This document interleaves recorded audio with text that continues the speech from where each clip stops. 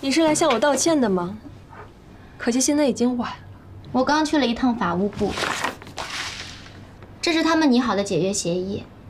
如果你对圆月社真的这么不满，我们同意解约。不过稿件不退，使用权归我们，还得向你追缴两倍的罚金。是你们故意刁难在先，居然还有脸罚我？是谁一直拒绝沟通，不按照合同办事？你自己心里清楚。要不要我把聊天记录给你翻出来再回忆一遍？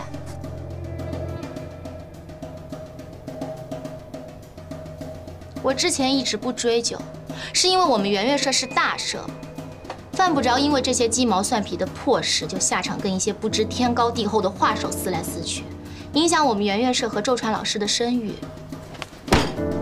你骂谁呢？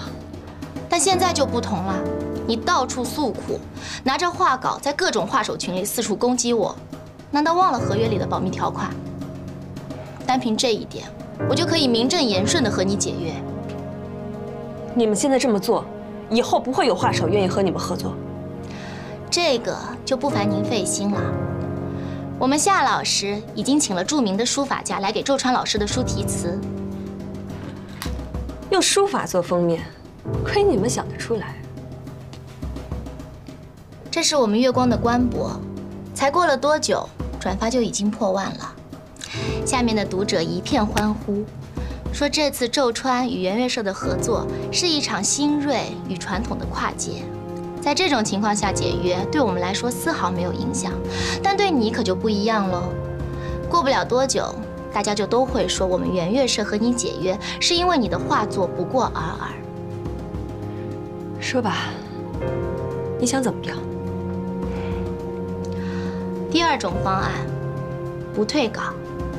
之前的事我们都可以既往不咎，但你得签一个补充协议，答应你的画稿只用在海报或者内封，只做内页。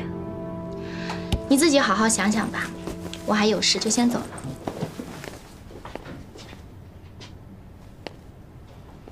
有一句真心话我一直想对你说，你的能力的确很出众，但曾怪我年少无知，还真的喜欢过你。